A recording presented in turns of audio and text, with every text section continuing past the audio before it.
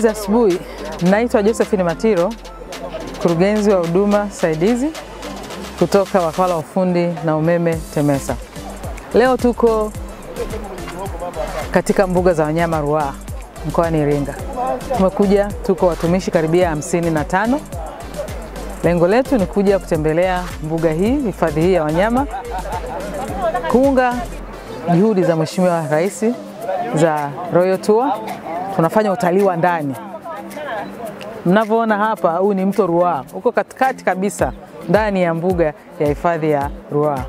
Kwa hiyo watumishi tumekuja hapa kama kutembelea mbuga zetu za wanyama, lakini pia kujionea mandhari yetu ya Tanzania ilivyo nzuri, lakini vilevile ni, ni, ni, ni mojawapo ya, ya, ya um, kupata refreshment.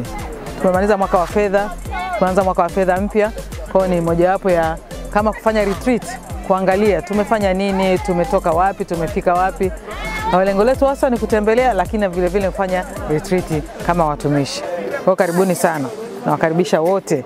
Sisi tuna kwa kweli tumefurahi kufika hapa na tumeona jinsi ambavyo Tanzania tuna, tuna, tuna, tuna, tuna mali asili nyingi, yaani utalii ni mkubwa mno.